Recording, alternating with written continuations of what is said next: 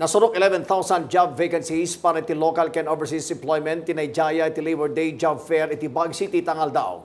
Malaksit tinapinta sa trabaho. Anya iti naduma kiddaw dagiti job seekers. Amuan iti report ni Florence Paitokan. Ginasgasot a job seeker sinagpila kan padasan ti gasat da, iti trabaho iti Labor Day Job Fair iti Baguio Convention Center, kan iti kadakla na mall iti syudad. Nasurok sa nga pulog at may sa aribo at trabaho, ti injaya dagiti nasurok inam a pulog at duwa nga employers. Kaaduan iti business process outsourcing, construction, hotel and restaurant kan sea-based jobs. So 25 nang dito sa ano sa Baguio Convention Center.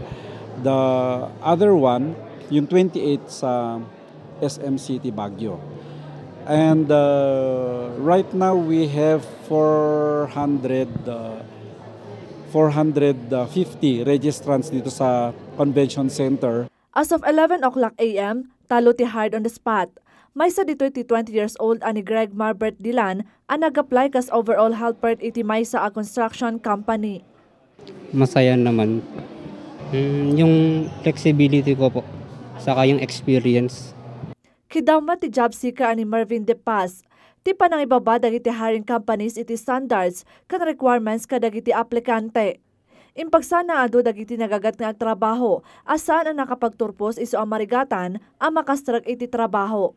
Uh, since I'm an undergraduate, siguro po yung hinihingi po namin is yung for others po na hindi po siya graduated sa college pero nakatapak lang po is for yung ano lang po, mm, standards lang po.